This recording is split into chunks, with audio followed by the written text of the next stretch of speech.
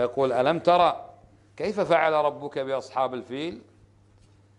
ألم ترى قد علمت ماذا فعل الله عز وجل. ألم يجعل كيدهم في تضليل؟ خطة, خطة عظيمة. انطلقوا من اليمن إلى إلى مكة يريدون هدمها. شوف إيش تجهزوا بالفيلة والزاد والخطط والعدة وال... وإلا هذا كله جعل الله في في تضليل. وأرسل عليهم طيرا أبابيل من جند الله عز وجل. وما يعلم جنود ربك إلا هو ترميهم بحجارة من سجيل. حجر صغير قد يستهين به الإنسان لكنه هالك. طيب أو مهلك. يقول فجعلهم كعصف مأكول.